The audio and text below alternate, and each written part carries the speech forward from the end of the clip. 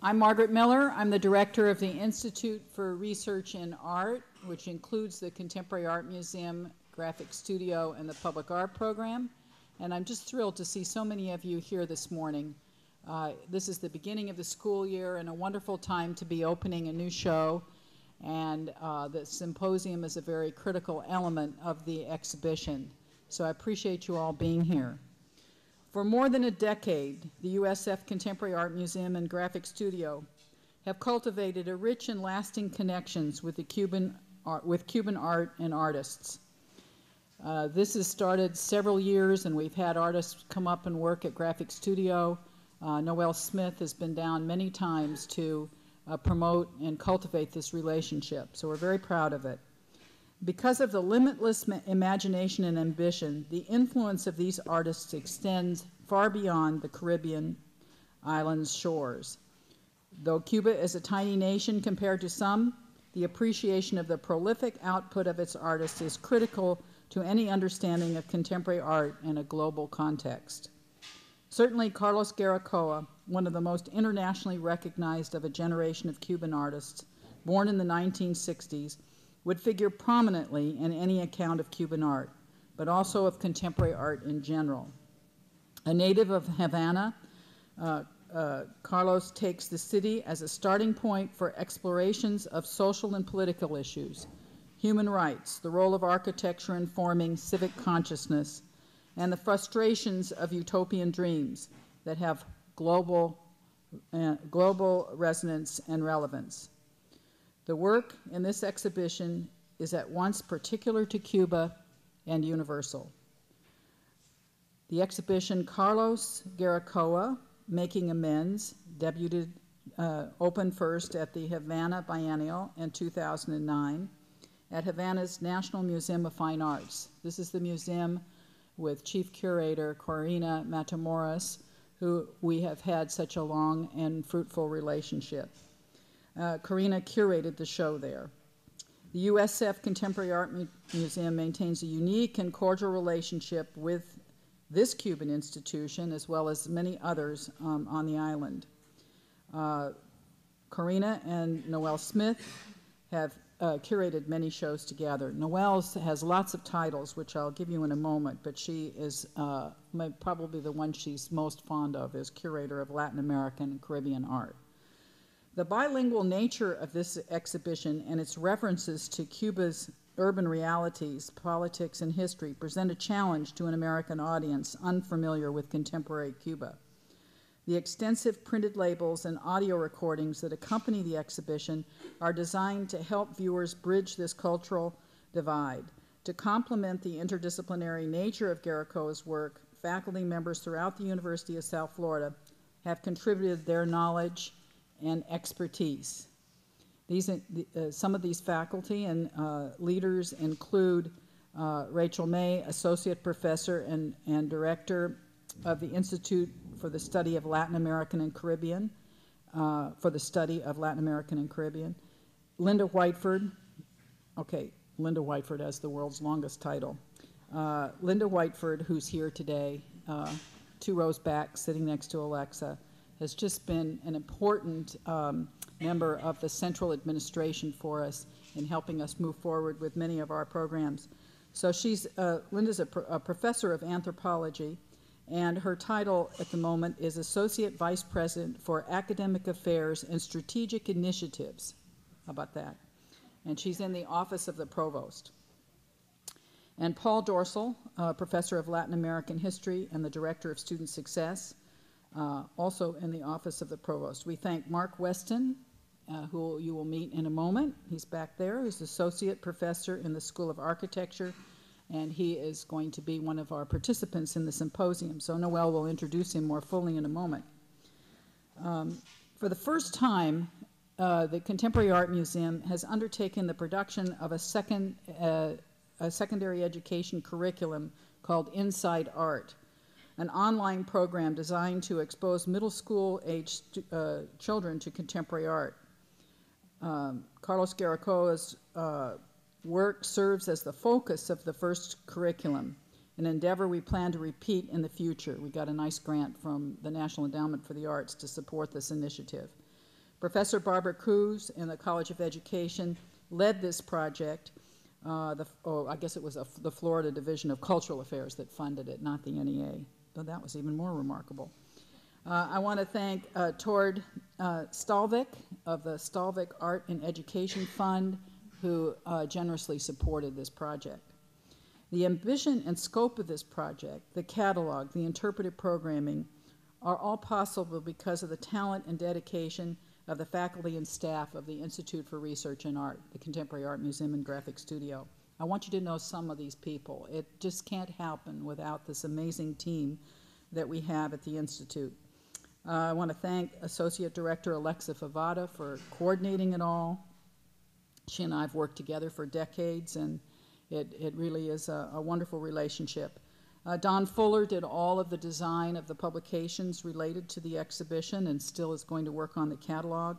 He also designs the website, and he uh, told me that the recording today uh, that we're making of this symposium, along with all of our other uh, symposia videos and technique uh, videos, is all up on IRA I, uh, YouTube.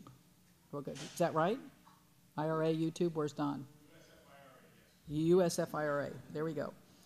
Uh, curator of the collections, Peter Foe, along with Registrar Shannon Annis, have helped with many of the loans. The exhibition, and I think you'll see tonight, it's just a, a beautiful design, was uh, worked on by uh, several people, but under the leadership of uh, Tony Palms and Chief Preparator Vincent Kral. And I always want to thank our Chief of Security, Dave Waterman, who is the security chief, glorious uh, guy who um, understands the exhibitions and our programming and does so much to introduce the students to our program. Um, the exhibition uh, installation crew included Tony Billick, Wesley Roos, Erica Jonas, Drew Ahern, and Tom McGee, all students. Our business coordinator, coordinator, Randy West, we can't do anything without him, so we always have to acknowledge him. And uh, our director of sales and marketing, Kristen Soderquist, uh, helped a great deal with a lot of the uh, social networking for this project, and she worked closely with Jennifer Andrews. And I want to also thank um, Amy Allison for coordinating all of the events associated with this. Now, I mentioned a moment ago that one of the things we tried was to do something extraordinary and new with the educational uh, aspect of this exhibition, particularly with the writing of the labels. And I want to ag- acknowledge Megan Voeller, an art history graduate student, for her help uh, in writing the labels over the summer. Uh, Justin uh, Weeks is also acknowledged for his work. Thanks to the USF Cuban American Student Association for its co sponsorship of the exhibition symposium today. The USF Institute for the Study of Latin American Caribbean Art also contributed support for this event. Havana's National Museum of Fine Arts staff was most helpful in bringing this exhibition to Tampa, and I thank Moraima um, Colom, the director of the National Museum of Fine Arts, for lending us Corina and supporting all of our exchanges. From the studio of Carlos Garaicoa in Havana, uh, Leobit Fadraga was uh, involved in every aspect of the project and came a week before the show opened and uh, helped with the installation. I also want to acknowledge my Marti. Uh, she is the uh, wife of Carlos, uh, and she is a clarinetist with the National Symphony of Cuba and talked with our School of Music students yesterday and she is intimately connected with the studio and the development of projects for Carlos. So we are delighted that she's here too. Uh, the Contemporary Art Museum is part of the College of the Arts, and Dean Ron Jones continues in these very difficult times to support the programs of the museum.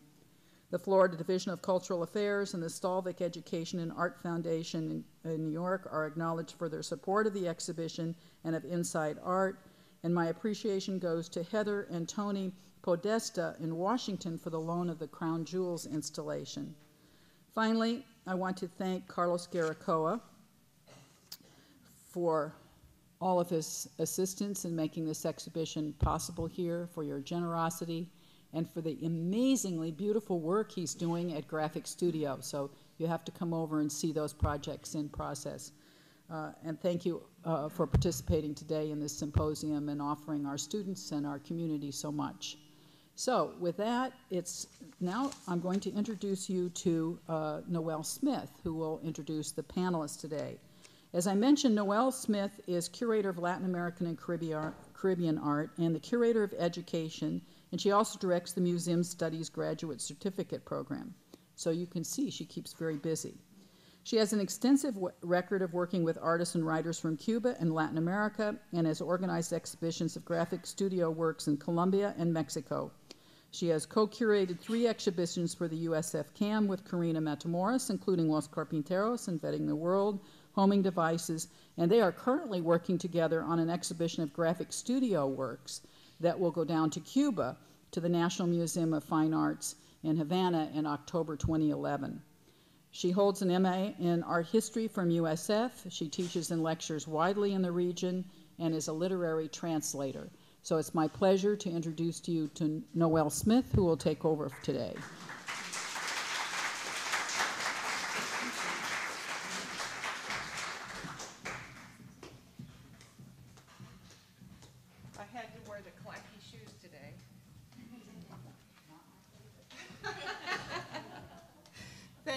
Margaret. None of this would happen without you, so my sincere appreciation and thanks to you.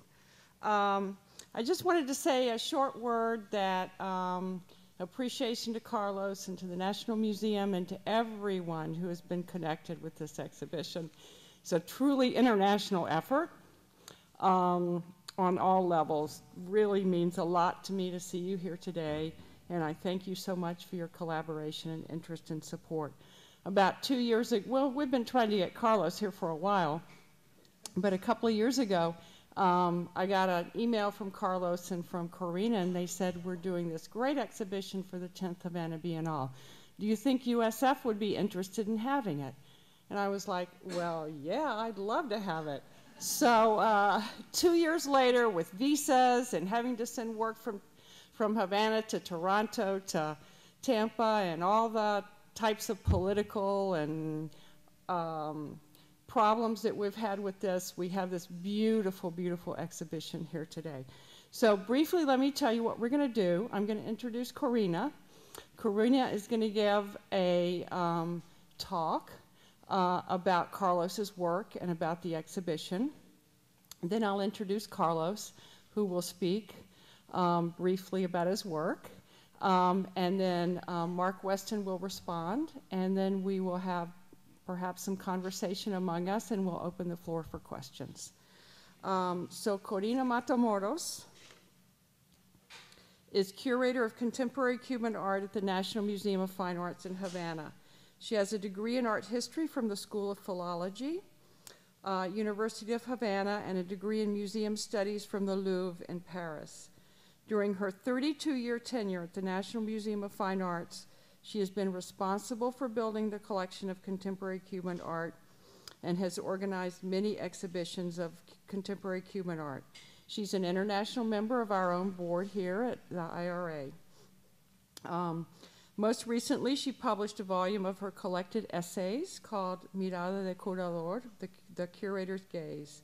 And this summer, she curated the first American exhibition of the seminal Cuban pop artist Raul Martinez, which was shown at the Magnan Metz Gallery in New York. And Sunday, she goes to the Vermont Studio Workshop, where she's working on a book on Raul Martinez. Please welcome Corina Matamoros.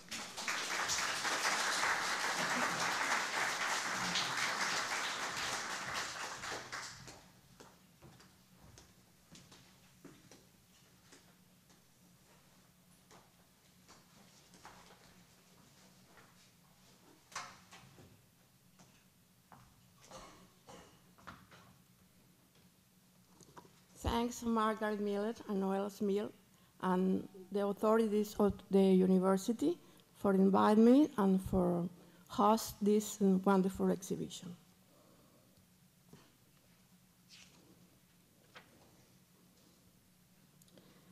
Preliminary draft.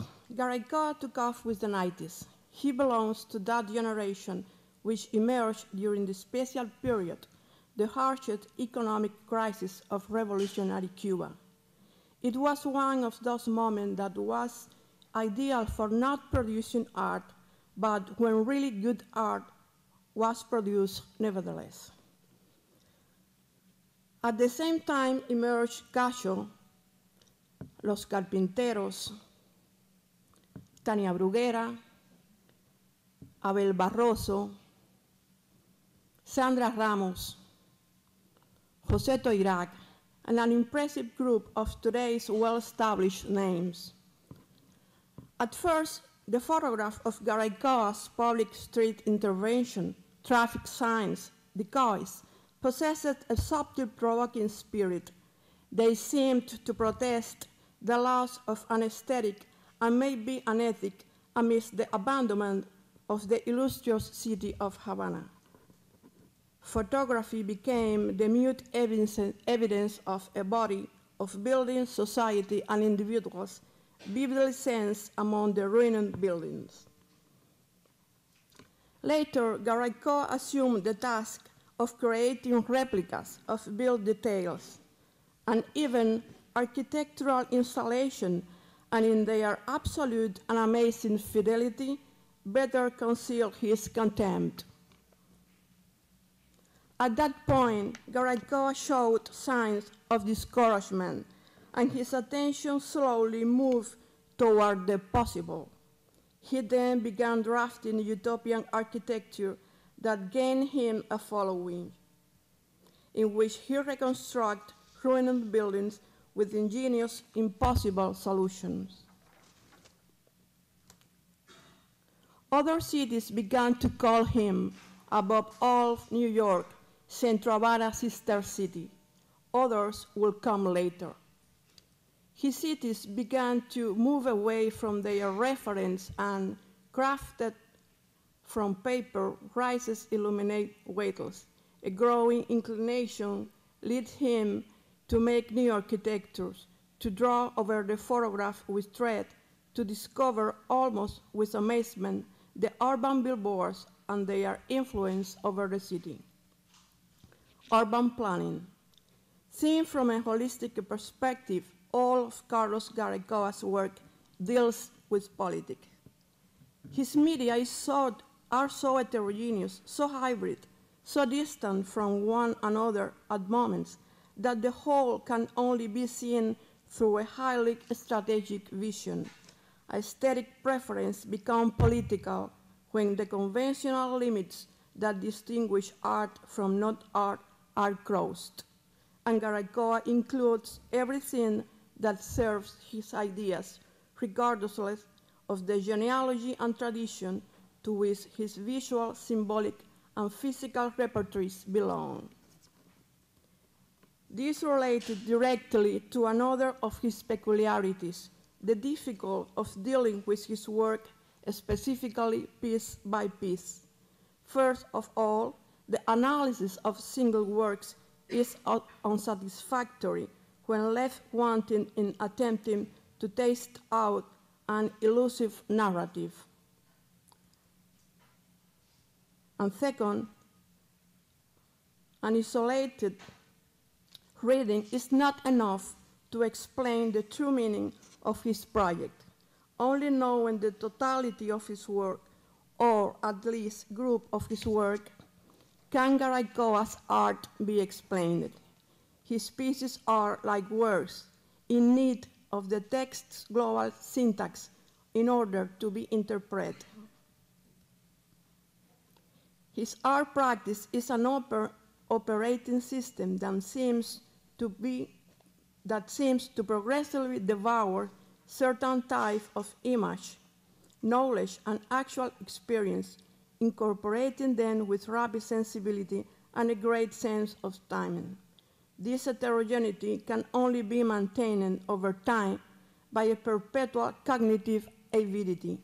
In Garaicoa, this avidity seems to be directed towards fields that neighbor the visual arts, literature, sociology, music, architecture. The city has been the great pretext for his poetics. What can be more heterogeneous than a city? What other source will provide more material? what will furnish it more alternatives. Born and raised in the middle of a beautiful and neglected historical city, it was logical that he would value the magnificence of its buildings and that he would encounter many places that still preserved their vestigial charm, a seduction brushed with the mystery of, of time. But choosing architecture is choosing the habitat and its circumstances, the people immersed in their life, the community and its symbols. The choice is, if not the total human environment, at least the nature created by humankind where ordinary people live. The White Avenues. The city itself, unique to human creation, the scene of many comforts and conflicts, continuously offers the artist more and more motive for reflection. Could be a coincidence that in the midst of the current world economic crisis, Garaicoa makes a model out of coin of iconic European buildings as he did in Portrait of Europe? Or can we believe that the magnificent work The Hunter, where a man drags a hut made of mirror around the city, is not related to the dilemma of the displaced?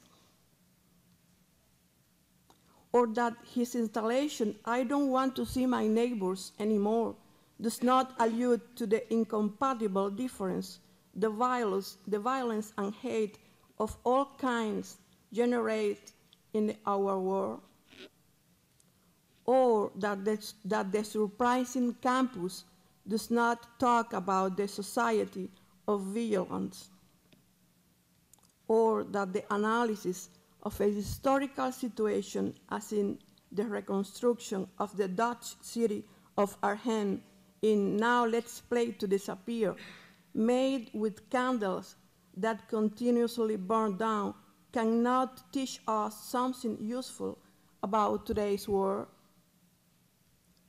Or that the monumental letter, letter to the censors does not insist in the right to say what we think? All of these great works are contemporary political statements.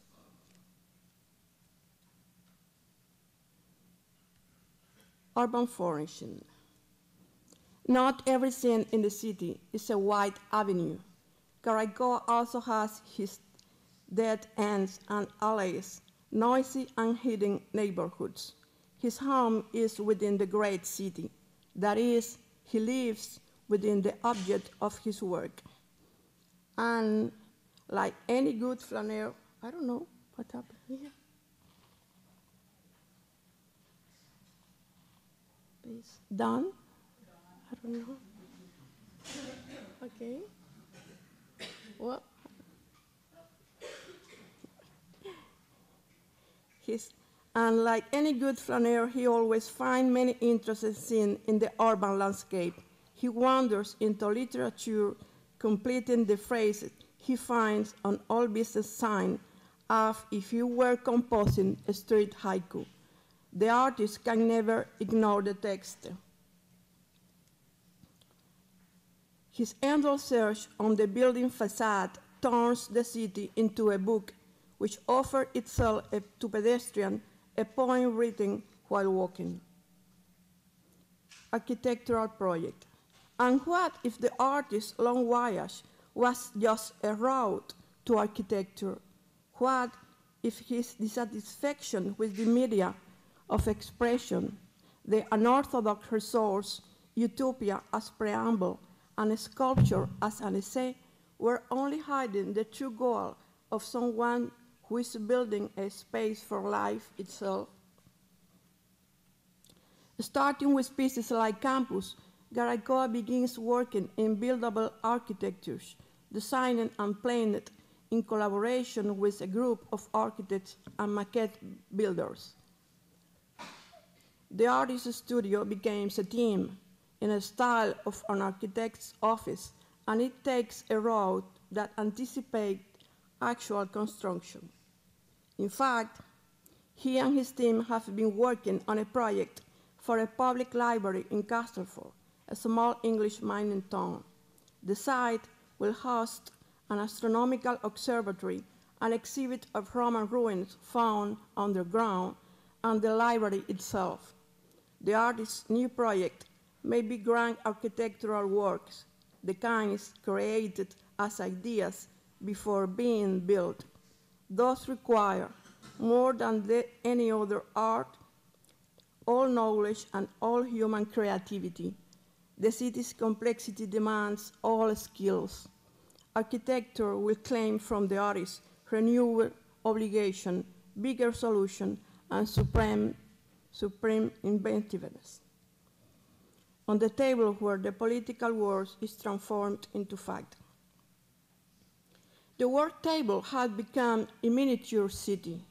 Things change their scale there, but the logic is reproduced with amazing accuracy. This is an artwork city, influenced by the billboards, buildings, and advertising we find everywhere. The artist has included all kinds of material, cutie mats, light boxes, building models. There, there is something liberating about a table where we can add or remove artifacts, making it flow with our thoughts. It is a table with common city objects are used in order to insert other signs, to leave new marks, or to propose personal statements. On the mat, one can read phrases like making amends, negation in my blood, starry night. There are two billboards facing each other that read, I believe in everything on one side and I believe nothing on the other. Let us imagine that we wander in, the, in this part of the city and that those billboards suddenly confront us, obviously leaving us thinking. Let us imagine that the billboard that was always in the corner of Linea and D Street in Havana, just by the bus stop, has sprouted a lookalike building in the same place where before there was only a sign to read. The billboards have become a major focus of the artist's attention, giving him rich political fodder. These advertising media gather in the single physical entity the literacy of a text, the ideology of a message, and the visual presence of a symbol. Many billboards have turned mute in recent years, emptied by neglect or lack of material. Those former bearers of national political life still retain their metallic skeleton clinging from roof and roadsides. Silent and enigmatic, they scream an absence that the artist listens to with care. There he plays his new message. They may be other silent billboards designed for existing place in the city or architectural project. But whether using thread drawings or digital modeling over photograph scene, Garaicoa continues an urban billboard project that is important in the language of the revolution proposing to add a concrete building to, a, to an abandoned billboard is nothing less than passing from the political word to the action. So it is not about the sketches for utopias, as commonly known, but about building a true wall against chimerical excesses, proposing a real path for action architecture as symbol, the 18th Brumaire of Carlos Garaicoa.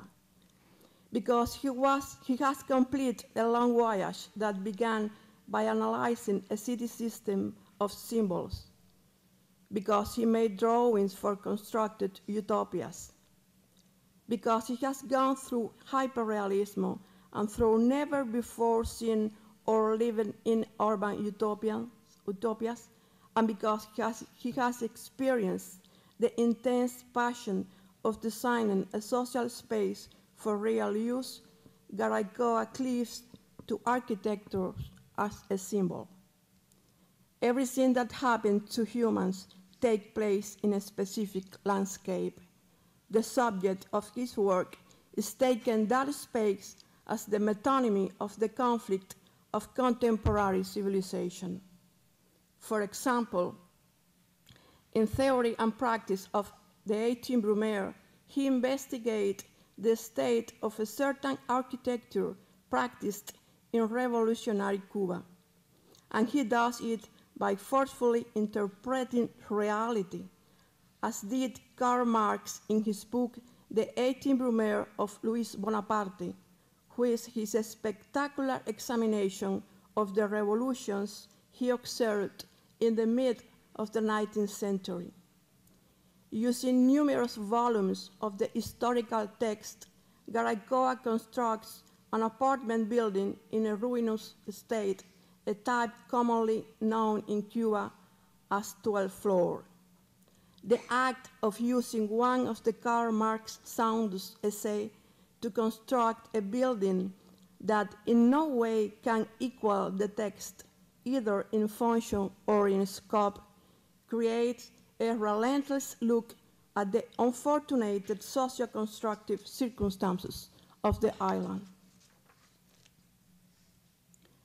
Modeling silver miniature of well-known buildings is another singular way the artist deals with architecture. Like jewels carefully stored in vitrines, the artist offers to the public spectacular gems that, with their magnificent craft, material beauty, and surprising appearance, are luxury items. With them, Garaicoa betrays us. Following Michel Foucault's ideas about places of repression, the artist has taken certain buildings as a model that symbolize in the public imagination torture, violence, surveillance, and military control. All of the feelings of wonder and pleasure that the splendid silver work, works awaken slowly turn on, on intellectual, intellectual consternation. The, the crown jewels is a work with a specific tempo. The viewer, dazzled by beauty of the item, begins to read a little too late the description printed on the labels that accompany each piece in, in its glass sanctuary. The viewer will recognize, for example, in that beautiful elliptical shape, the National Stadium of Chile, and possibly will remember that tragic history in 1973 when the military dictatorship converted the site into a concentration and death camp for thousands of Chileans. Other jewels are the Navy School of Mechanic in Argentina, and intelligence, counterintelligence, military sites in Moscow, Havana, Washington, or Germany. Once again, the artist plants decoys in his work and seems to ask us which symbol of surveillance, aggression, of tyranny we will take home for the value of the silver. How far are we willing to involve ourselves in the intricacy of power? How have the prerogative of power historica, historically influ influenced architectural expression? Garaicoa maintains a penetrating 18 Brumaire attitude about everything that happens around him, a particular wisdom towards everything that occurs in the universe of the city. After all, it was the grand design of the city which inspired him sociological vision. what awoke in him utopias and philosophical reflection, what demanded to be read as a text, what has induced him to simulate it and to amend it, what has challenged him to add new buildings, what has served him finally as the material, the methodology, and the stage for all of humanity. Thanks very much.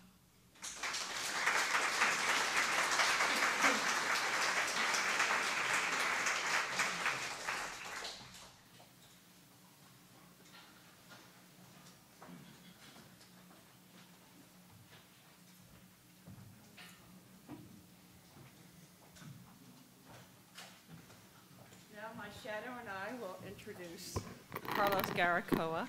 Don is setting up, Carlos will have a um, kind of, oh, he's done it already, a kind of looping, um, uh, looping slideshow of his work um, during his talk here. Um, You've heard now a lot of very insightful and poetic commentary from Corina about Carlos. I'll introduce him a little bit more practically. Carlos Garaicoa Manso was born in Havana, Cuba in 1967, and he lives and works between Havana and Madrid. He has studios in both places. Carlos studied thermodynamics um, in Cuba before later going to study art at the Instituto Superior de Arte, the Superior Institute of Art in Havana. He employs, as you saw, a multidisciplinary approach um, with his chief subject being the city of Havana. His installation works, as you will see, particularly in our exhibition, include installation, video, photography, sculpture, pop up books, and drawing. Um, Carlos most recently had a solo exhibition at the Irish Museum of Modern Art in Dublin, and also an exhibition at the um, museum in Medellin, Colombia. He has been part of solo and group exhibitions, more than I could say here. But for example, at MoCA in Los Angeles, the ICA in Philadelphia, the Royal Ontario Museum in Toronto, the Maison Européenne de la Photographie in Paris, Palazzo delle Papesse in Siena, as well as the Havana, Venice, Liverpool, Sao Paulo, Yokohama, Johannesburg, and Guangzhou biennials. At the moment, he's working in a building project called the Observatory, supported by the City of Castleford and the Arts Council of United Kingdom. We're so happy to have you here, Carlos. Please come up.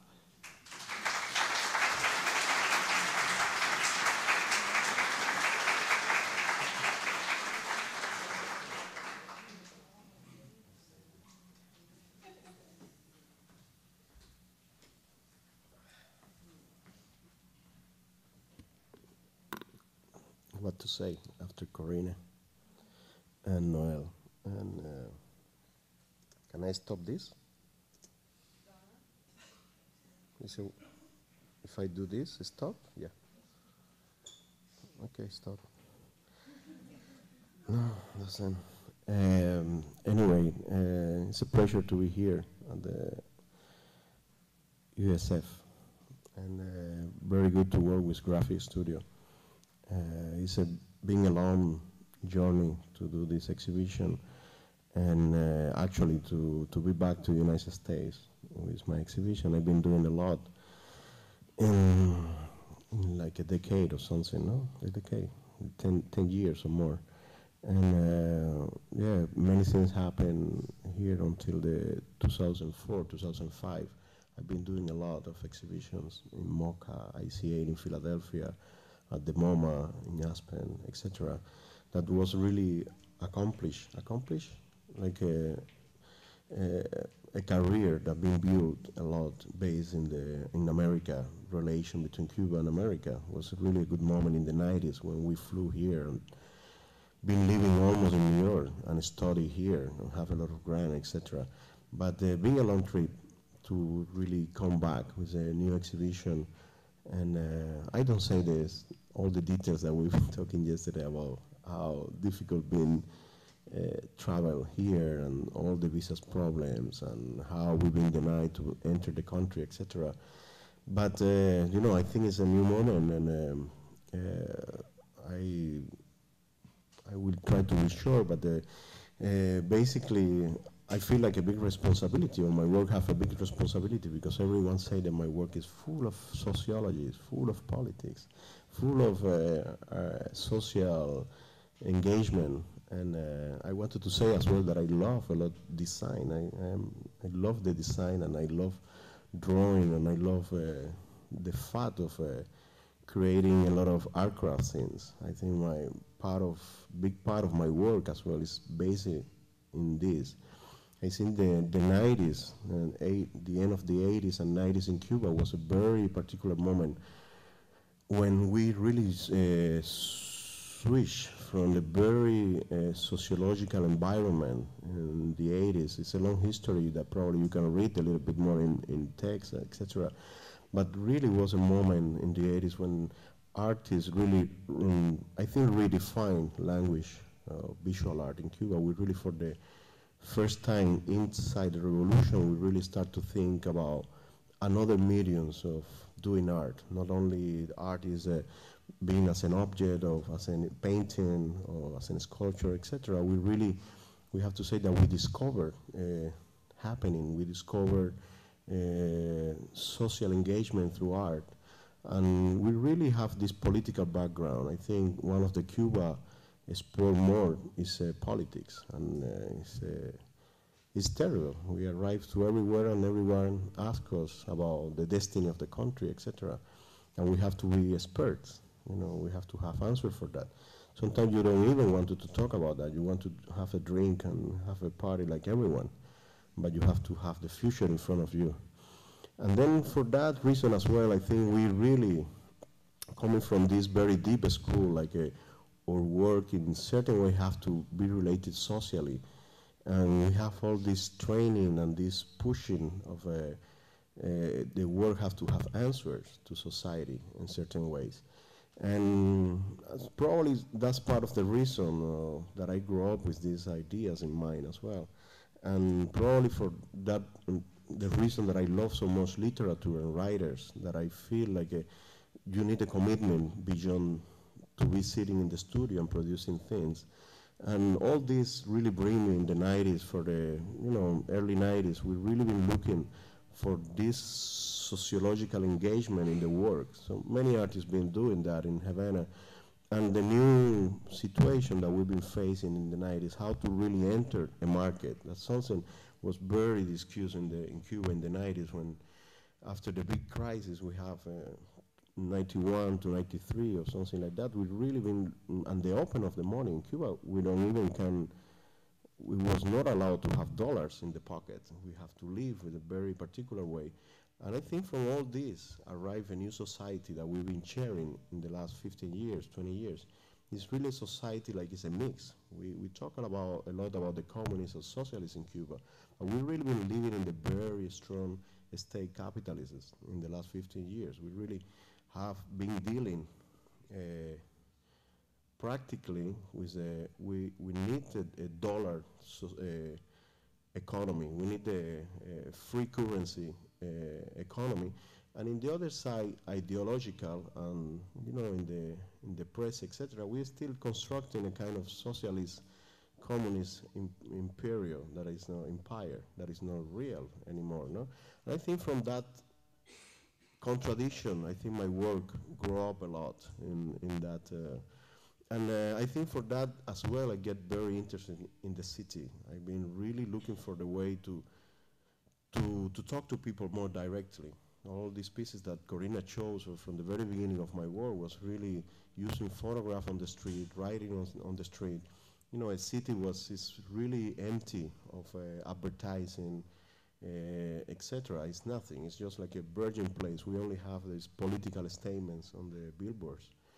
And the 90s was very good for that, you know, to have the possibility to still play a kind of social uh, relation with your work. And uh, on the other hand, we have a lot of discussion on how to enter this new uh, society that was arriving, supposed to be arriving to Cuba. And I think as well the openness of the United States and the, I, I talk, I say United States because it's a natural uh, market for Cuban art. And we have a lot of people coming to Cuba by the time, a lot of museums. Many people really develop a career or part of a career in the relation with the United States. We do a lot in New York, Los Angeles, Florida, and not only me, a lot of artists. You can check as well on that. And then from that mixing, I think coming this uh, uh, this possibility of doing still a work, like I, I even, if it's very concentrated in formal strategies, that I really take care a lot about that, is really always try to take the challenge of say something else, beyond the work. And uh, I think for that reason, probably get more and more interest in architecture. I think a was a, a way that I really found in the been doing for many years. I've been drawing in the 90s, a lot of, but I, I call this world my, mm, before 2000, 2002, I call more like a, a naive architecture. We've been really looking the architecture as a form, as a formal thing. But in the early 2000s that I get invited to Documenta and Kassel, I really get, decide to go in more strong in my relation with architects. And I, for the first time, I started to invite architects and model makers to my studio. And, and that's, that's the, the, the way my work is, is today. I think it's a, uh, we've really been doing many things that I, I keep very important, uh, very big importance to the role of language, of how I've been using architecture uh, as, a, as a conceptual form more than, than a, a strategy to build. We really been refusing a lot this idea of building. And uh, I, the first pieces I do very seriously in 2002, Corina referred to campus and some other pieces, well, it's really ready to, to build. We can do that in Havana. There are um, different proposals I do in 2002, like a university campus. We do a, a, an apartment building, a, a medical um, hospital, small hospital, but we really deny to build. A lot of people been asking me, but this is um, been talking about utopias. Utopia is a word always coming to me and, and my work. And I say, I am not talking about utopia, I'm talking about reality. And the reality could be solved in conceptual discussion as well. You know, we have uh, these possibilities, not only like uh, we are doing paper architecture, it's really a real thing. And then from, from that moment, we arrive to this uh, project that we are doing in England as well, that I've been using a lot of methodologies I, have been using in my, in my early wars in Havana. And uh, it's really this commitment to, uh, to, to, to, art, to, to form, to, to, to social, uh, to society in general. And then I get invited to this country and to do an, an, an, art piece, to do a public art piece. And the, the easy way to solve this is just do something, get the money and leave. That's a great way to, to work and happen a lot today in, in the art world. But we really spend now like six years working in this little town, believing that the, what we are proposing there will be bigger than, than, than, than what we should do in one or two months there. And that's all. I don't know. Uh, a lot, no? About me. You will be decent today. Uh, finish.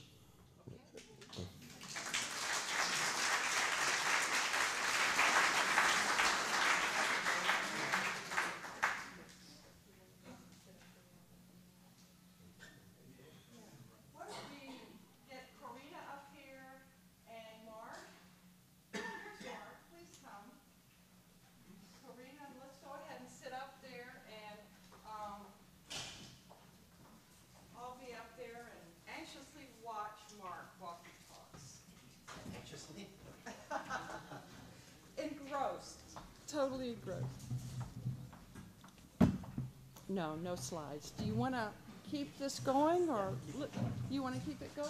Okay. So, Mark, thank you so much for agreeing to be here today with us. Mark Weston, AIA, is an assistant professor of architecture at the University of South Florida, where he teaches graduate courses in design, technology, and is currently charged with developing a state of the art digital fabrication laboratory and its associated curriculum. His research focus is multidisciplinary, combining experimental building materials, digital fabrication, and physical computing with traditional notions of making in order to generate interactive and complex physical environments. Mark holds a Bachelor of Arts and a Master of Architecture with distinction from the University of Michigan in Ann Arbor. He's worked with Gehry Partners, Ply Architecture, Bowen Architecture, and is currently principal of Maurer Weston LLC or MW Labs. His work has been featured in publications including Metropolis Magazine, Environmental Building News, and Modern Steel Construction. Exhibitions of his electronic sculpture, Connecticut, Connect- Connecticut, and interactive installations have been showcased in Michigan, Florida, and Germany. Please welcome Mark Weston.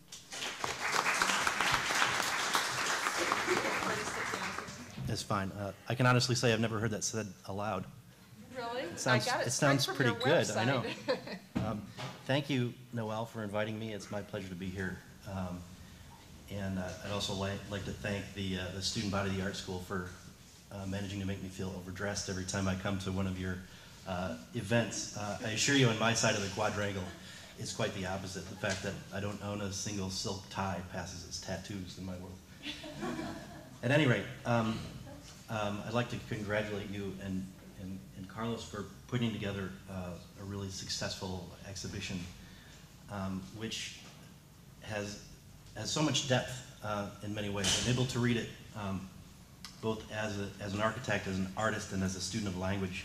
Um, but uh, the, it, it possesses something I think that uh, I, I don't often see in architecture, which is um, an emotion, uh, a, a political awareness, and um, an attitude toward the making of things that in architecture we uh, you don't see quite as much because we typically talk about form, we talk about making, we talk about materiality uh, at the expense of uh, metaphor, meaning, and politics often. So uh, I appreciate it for that. Um, and there, if you look at the at the work uh, from, say, from my distance, uh, where um, on on one hand it's a, it's a contemplation on, on, on things that are made. You, you have uh, um, compositions made out of graphical tape, which are displayed on cutting boards with knives. Okay, this is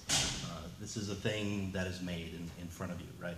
But it's also a statement on, on politics. Taken the um, if you take the, the billboards, which formerly were used for political slogans, uh, now used to sort of express the the anguish of a population uh, whose voice is sort of suppressed. I mean, there's a very very powerful layer of meaning there. Um, and I'm also, as an architect, interested to see laid out, uh, say, this collection of buildings um, uh, cast in, in silver, which really are nobody's gems, right? Um, and if, if you know anything about the history of architecture, you know that uh, um, many, for example, Eastern Bloc countries have taken architectural style, taken uh, art movements, and use that energy to create an imagery for, for government. Okay, often um, in, in many of the, the times that many of the buildings showcased were built, this is a modernist style, right? Well, it's very different in America, uh, where almost without exception, all government buildings are made in a federalist style. And this is uh, a neoclassical thing, so think fluted columns, Greek, you know, uh, pediments and all this sort of thing. Uh, there's a, the, there's a, an attitude um, about um, how one is seen, I think, that, that is different in this country than, than in many others. Um, and so when Carlos places uh, the, the Pentagon and Guantanamo Bay in this context, you see that the only American government buildings uh, rendered in a modernist hand are the ones that are meant to be invisible. Um, so this is not the face of government. This is um, this is the face of subversion.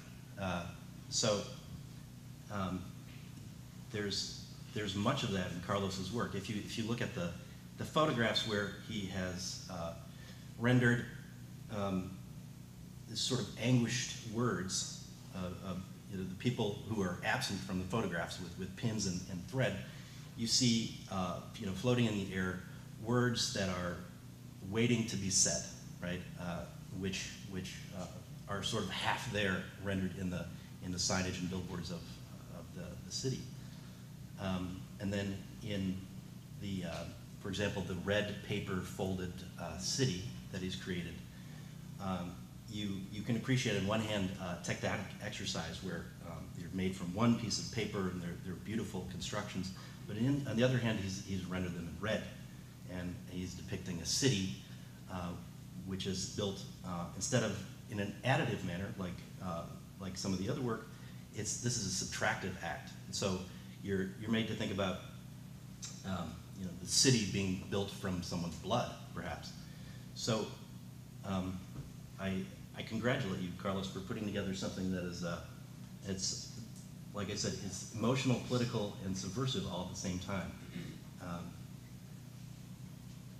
Do you have any, uh, any specific questions for Carlos, or Um, anything you would like him to consider Yeah, there's, there's, there's a lot of questions. Uh, So, I'm, I'm wondering, Carlos, when you, when you photograph the city, um, a, a city which is, which is full of people, right? Uh, At times, um, when there's, there's no one there, um, what's, what's, what's the motivation there? It's, ter- it's terrible. We have to wake up very early. That's the worst days in my life when I have to photograph. Because, uh, no, it's very difficult if you want to do, uh, first of all, if you want to have a good light photograph, you have to go to certain hours. And it, I would say many things formal. It's nothing to do with uh, no people or people. Sometimes I have the problem that is in, in Cuba, it's a lot of bicycle people. And I, I realize that in many of my photographs, it's a guy with a bicycle. And sometimes people ask me, why do you put always a guy in the bicycle? I say, I cannot avoid a guy. And then I don't know what is worse, of not have anyone or have a guy with a bicycle there. And then we're really looking for the building. I'm looking for the time because it's important. And at this time, we start to photograph in Havana around seven, try to do seven to eight sometime. And uh, this is very hard because I have to wake up six, then I have to be like a. Uh, but it's really important to because the, the light's really damaged. The light in Havana after nine nine thirty is impossible. If you want to do color photograph, it's impossible. And if you do black and white, you have a lot of shadows as well. Then this is a I'm teaching a class of photograph here. But besides that, it's really worked very well to have a, a many of my discussion in the, the 90s, 80s, 90s with uh, photographers, I grew up in, together with a lot of photographers. They really joined my work. That was very difficult because I was not a photographer. I came from the art world, and photographers hate artists. You know, it's something like a, they cannot deal with that. Only recently that we've been mixing that you can find more people do art or photograph, but this is a very recent Uh, technology thing that happened with the digital era. But before, the, to be a photographer is really have to be something very specific, and was very difficult. Imagining Havana develop films, have films, have paper. In the early 90s was a nightmare. When I was a student, I get nothing of money, and I have all my friends photographers who print for me, and they really teach me. And they, wherever I arrive with a bad negative, with a lot of light, they say, "Come and go early." Stop to do this to me because I don't print your photograph. And that's, uh, I realized that I, I, was not really interested in, photo, in, in, photograph of people. You know, it was a lot of photography of, of portraits in Havana. If you look for the history of Cuban photography, the history of revolution of photography is full of people. Even before, if you look for Walker Evans in Havana, it's full of people, you know. But then if you see the Walker Evans photograph in America, it's full of architecture that is so beautiful. And I took that as a very good uh, example of what I want to do. I really wanted to concentrate in the empty place where I can play and I can put my, my own story because it's a really fiction. I do a lot of narrative. When I do a photograph and I do a drawing, I just create in a screen. It's, it's a very writing thing. And I, I really don't need people there.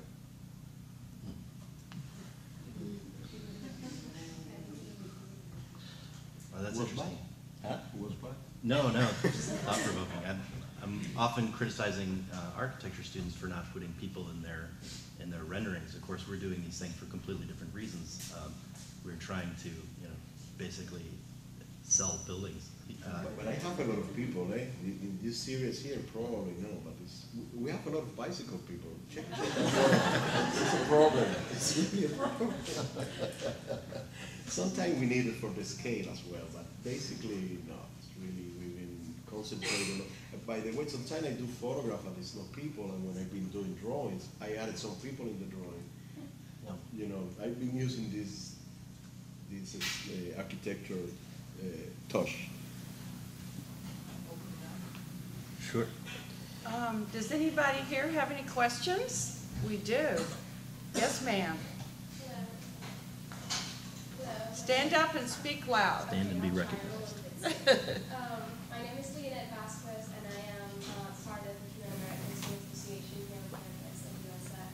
And I am a Cuban. I've been here for four years, so this is like, you know, very dear to me.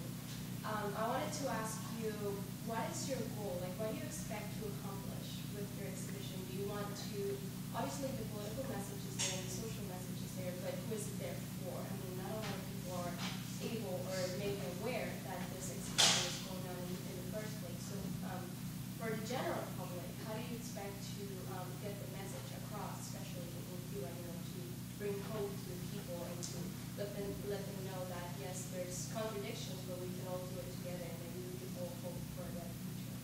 So that's my question. No, A- a- art art is really a big handicap in that. Unfortunately, art is a very specialist thing, and it's a very elitist thing. And that we probably have to blame ourselves for that, to be building a world of, uh, that really belongs to few people. And probably this uh, an exhibition in the university campus is, the, mm, is extremely good because it's a, you know, when you go to museums, you are on the hands of museums. When you go to a gallery, you are in the hands of the market and how this market works around your work. Here, at least, I think I can have a, an answer from people who are really studying and thinking, and I expect a lot from that. But I was a student as well, and I know that not every students are interested in art, and that's a very problematic thing as well. I think it's a it's many things to have to be working between, you know, the way artists or, or language work and the way it is deposit and, and pass to the others. No? And it's, it's something that is not in our hands many times. And that's the reason I've been avoiding, I, I really, I don't know, it's a long history, but I really, in between, if I really wanted to be an artist or I wanted to do another thing, of course I have to be an artist because I have, I don't know how to deal with other things. But it's really important, I think, the, the, the, the equation, the education in between, you know, programs that really approach people to art. And uh, because already the language that we are dealing is so, we can say that it's so sophisticated, it's, out of a normal language we use every day. And, uh, and there is a problem already, and then how to, to, to, to, to get this gap and, and finish this, you know? I think it's belong a lot to, to museums, to the programs in the middle. Now here, we've been talking a lot about this program that I feel so honored that they put it on the web with my work, etc. But it's something to make some other kind of discussion around that normally doesn't happen with art. With art, it's really, uh, you know, you see museums struggling to get people, to get visitors.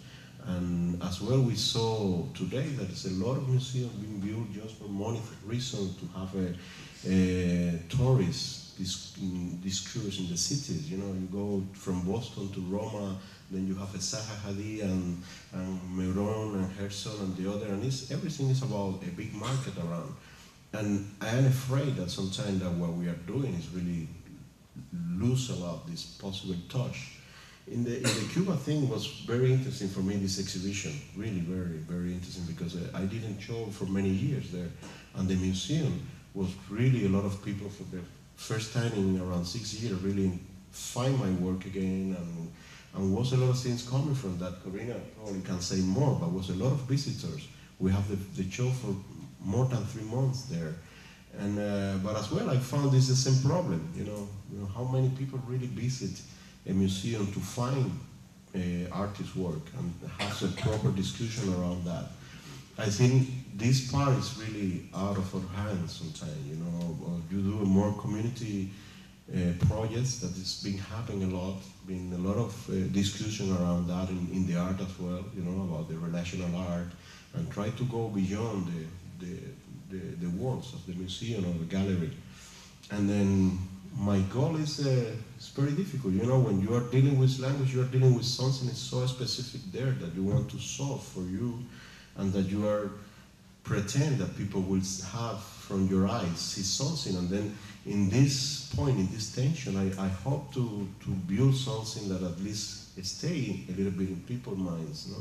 I hope that the I am not so sure like you, like uh, this should be a big hope. I don't believe in that a lot. Um, unfortunately, I'm more, uh, you know, I, I lose my faith in many things, but I have a faith in, in language as well a lot. I have a faith in, in the language as a communication bridge. I think we really have a way sometimes to do something like this, so specific for me, but as well can build a relation even in 10 people would be perfect.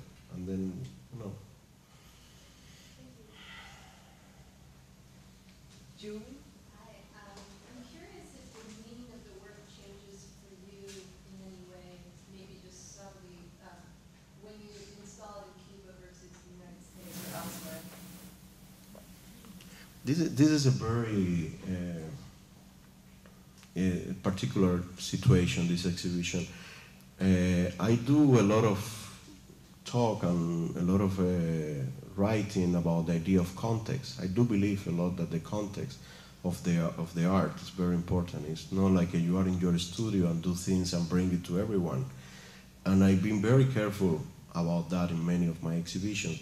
Tried at least to make certain bridge. This is an exhibition that was already done, that I really developed for the Cuban audience, I have to say that.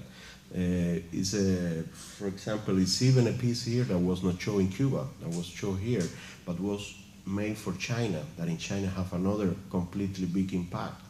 And then, uh, how to say that when, when, when I do this show for Cuba, I really avoid to do a lot of the pieces I've been doing internationally, like uh, been working more in the architecture, uh, we can say international language or whatever. And I really concentrate in all this writing, in all these billboards. And uh, I do believe that language anyway has something there that could be universal. I do believe in that. I do believe a lot in the writing. And that's a lot there. I think people will get a lot from the writing. Even if it's another language, you have a translation. And that's make another, completely another bridge. But this exhibition, I have to say that originally was built for a Cuban audience. Uh, the Cuban audience that have to look at the work I'm doing today. Is not, I am working really in many places. I'm living in Spain now as well. I've been doing a lot in Europe here. And I think I, I uh, in my work is already this happened, this evolution of being here and there that is uh, more in the global, if we can call that global uh, place. And, uh, but yes, probably it's a lot of handicaps to this work here, but uh, it it's a translation of a Cuban who living abroad, who been in a lot in America, and try to communicate with people in Tampa that have a lot of Cuban relation background. I hope it's work. Noel? I have, first, I have actually two questions, one that's related to the other. First is, um, uh, there is a building that is actually going to be built that you're designing, is that correct? We hope. Okay. Um, my question comes, uh, what is the change for you that happens when, um, your work goes from a, a state of imagined to this potential of actually sort of becoming the architect, right? When you, you almost go from a, a critic to the establishment in some way. Um, this place of, uh, the privilege of being sort of the architect, does that make sense? Or the, the so- kind of like social acceptance of architecture as opposed to art? Does that make? No, I don't know. I don't understand every word, but everything you say, but uh, it was complicated for me, this privilege thing. I, the, the architects really changed my, my, my way to, to see art. I really been doing this naive architecture for many years, and I've been invited to many shows about cities, and, and my architects friend al- always told me, please keep like this. You are so naive, that is good. And then I followed that advice. You know, don't draw, don't draw very well. Keep it like this. Don't do so perfect. But then we realized in 2000 that I need. I have a lot of people say, "Why do you don't use AutoCAD and this program?" I say, "No, I like to draw by hand." And we've been doing that. I was crazy. And then in 2002, I have to do this project. That was a major project for me. They want to invite me to, to, to show at, at Documenta in Kassel all these drawings I've been doing about Havana. And I was already thinking in, in another level. I say, for the first time, I've been doing some models already in paper, uh, uh, wax, etc.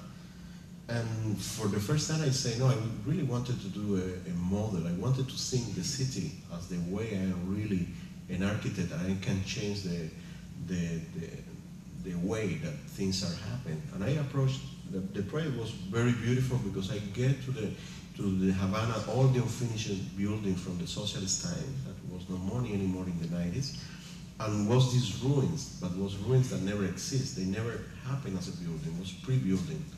And then we researched all the, the, the drawings, the original drawings from the architects. And then I invite an architect and the model maker and say, okay, this is the reality. This is what we have.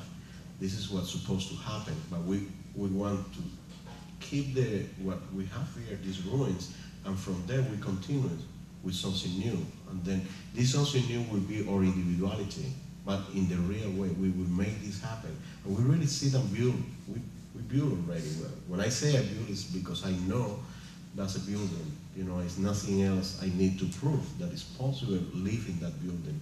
And that was a project for the first time. It was very a strong position. I said, we are not, I am not architect, but I can, I can deal with that form. I can deal with the functionality of the space. And that moment, I really changed a lot my, my, my relation with art because it's really give me the necessity to be attached to a reality, to follow certain rules, and to really don't, don't be so free because I think art, and I will always keep it as an artist, I follow the advice of architectures, so free, and suffering, the way I use material, the way I think in the space, etc. But really give me something new, give me, in one hand, working with a, with a team. I, I'm not by myself, I have six people work with me all the time. And since 2001, we have an architect and a model maker in the team, plus a designer, plus art historian, writers. We are a group of people who really sometimes look for their pieces like a more probably like an architecture uh, team, no? And then this project came in England, came in around 2005. It was really like a, you are so interested in architecture, you are love so much the city, came here and do something for the city. That's the way artists are invited. You know, we are like a, so glamorous, we get there, we build bronze pieces, etc. And I hate that. I hate the fact that I have to find a lot of bad pieces on the street all the time, all, all over the world. You have this bronze that is terrible. You have to deal with the stones, and it's nothing contextualized. And I am very into this. I think it's important that even if you would put a box there, please give a context to that. Work with the context. Work a little bit with people. And that's happened with this building. You know, we get there, and I supposed to do a sculpture, and I turn to another way. I say, no, I wanted to do a library. I wanted to research the situation here, and came out with this building. The building was not because I want to build. I want to build there an idea that I think is function for the for the city, it's function for the people. They they really like it. They accept it. The politicians give the money. They accept it now. We are in the very good moment. No, I don't know how I will have to deal with that. You know, we have an architect that is a young architect coming from out from the school and is working with us since that. And uh, always we say, okay, if we really have to do that, we will fund founded another studio. It's nothing to do with us. You will deal with that and just go and probably have to go to England because in Cuba we cannot deal with the problem of construction in England. And then we have, of course, we have partners in England. We have people who are the partners of the project, etc. If this happened, would be like a, I have to say that I will be outside checking things, deciding the, um, the visual. I decide a lot in the visual, in the form of the things, and the functions I want, but I really base a lot in the architects. I don't do myself. I think it's, it's not always such a privilege to be an architect. But uh, I've heard it said that the difference between sculpture and architecture has to do with stairs and bathrooms. That's, that's, that's one way of saying that uh, someone would come to me and say, build this, whereas someone would come to Carlos and say, build something. Right? Um, that, that's a different sort of place. No, completely. And we really develop a, a, a, big team of designers. The building is so complex for us. You can see it in the internet. In my website, the only thing is this building. You have renderings and videos and stuff like that. And uh, we really sit there and it was so complex that we already are, we was out of technology to do it. And then because we have to develop everything from 3D and the animation from 3D and the construction, even the models are being very complex to do these models. And uh, now we are not, we are, on, I, I say, I have to be sincere, we are in, incapable to do this. As we exist as a, as a group, we cannot do it, but we already, I have to say that we have it already. You know, for me, architecture is, is a, this, this the decision as well of you do something that you make function there, and we make a function. We are clear of the space, of measurement, of of technical things. We are there already. And then if something happen after that, I know will be a lot of contractor and construction and engineering that probably will be terribly boring. I don't want to be there. Me neither. Question from the back? Yes, ma'am. Okay, um, great, thank you. Um, uh, the professor mentioned previously that you, you know, you had one, one piece of art where you had a building, part, sort of paper, where it was kind of normal and then the bottom part was red, which kind of represented the city being made of blood somehow. How radical do you get as an artist from Cuba? You know, do you ever take architecture to that next level where you represent Cuba in the political arena that is going through right now, the different um, transitions that it's going through right now? Do you ever have any architecture uh, um, pres- presentations or showings that show that type of political movement? I do present my work uh, sometimes there. I am very close of young artists. I follow what happening and inside and outside a lot. Uh, as an architect, uh, if you ask me as an architect, then I am not. But as an architect, uh, I think that I've been talking a few days ago with an architect uh, from here that is very involved in Cuba. I think Cuba is a is a is a jewel that is nothing happened there, and for architects would be a perfect place. You know, it's like a virgin.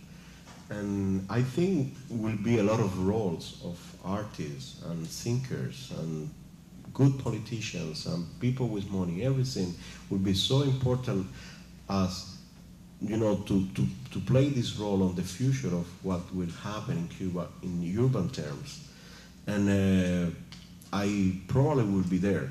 I wanted to be there, not to construct anything. I don't have this ego. I think I am very happy doing paper buildings.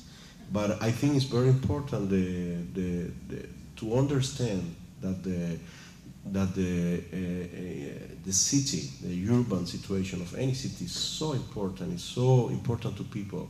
I think it's what we have, what we, what we decide in the next few years about Havana, about any city in Cuba will be so important for the future of this country that I really wanted to be there. And uh, that's probably will bring a big political role because I think it's not only about aesthetic things that we have to discuss there. And I hope it's people really open to do that. I am afraid, I am not afraid that what people told me, ah, you are not afraid when Americans arrive to Cuba and change everything. I say, you know, Americans will arrive to Cuba if we want. What really will come into Cuba is a lot of money. And this money is, is good and it's dangerous in the other hand because you know the we will have a lot of fat, fast food architecture. You know, we will have a lot of architecture done by this just to make money and live. That will happen for sure. And then it's, it's now it's a very beautiful treasure. We have an old city that is very decayed, but it's so beautiful, it's so complex, it's so big, that only in urbanisms we can spend years and years to repair that. And only with that we will have a beautiful place. Then after, of course, we have to do a new infrastructure. We need to work in the in the contemporary city. We don't have a contemporary city, or, or contemporary cities from the 50s. That is very beautiful, but it's only for the 50s. Then, you know, it's a lot of things coming from there. And I am not involved. I think a lot of architects and people from the academy in Cuba pay attention to my work a long time ago from the architect side, because we've been already working there, etc. But it's really something new that should happen. And in this moment, we'll see what happens. Another question? One last question? Yes, ma'am. Um, I was trying to get uh, into his, her idea regarding how you change the social you work from art to architect. And I was thinking about what you talk about, how it, having to follow rules. I mean, when you make that change from art to an architecture, you are sort of um, getting into the mainstream society rules. And I was thinking how you, since your work is so politi- politicized, how, how you keep your message going, even though you are entering the mainstream society and then you, I mean, sort of, are you afraid of losing the message in that transition? For sure. Imagine inside my building selling coffee. inside my sculpture, it's so strange. no, I think, of course, we, we think a lot on that, you know. And I didn't have the the chance really to, to face that. We are facing with this project that uh, we spent a lot of years. We really we were so exquisite to try to do this well that we that past the moment that we have the possible the possibility of a lot of money to do it.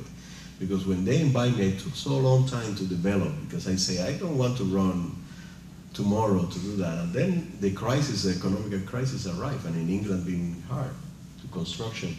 And recently we presented the project last year. It was very far of the first moment.